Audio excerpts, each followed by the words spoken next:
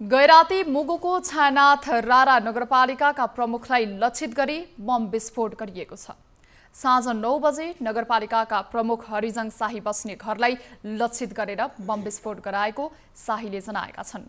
विस्फोटले घरको सिँढीमा सामान्य क्षति भएको र प्रमुख शाहीलाई सुरक्षित रहेकी सुरक्षित रहेको प्रहरीले जानकारी दिएको छ। बम के का लागि र कसले विस्फोट गराएको हो त्यसको अनुसन्धान भइरहेको मुगु प्रहरीले जानकारी दिएको छ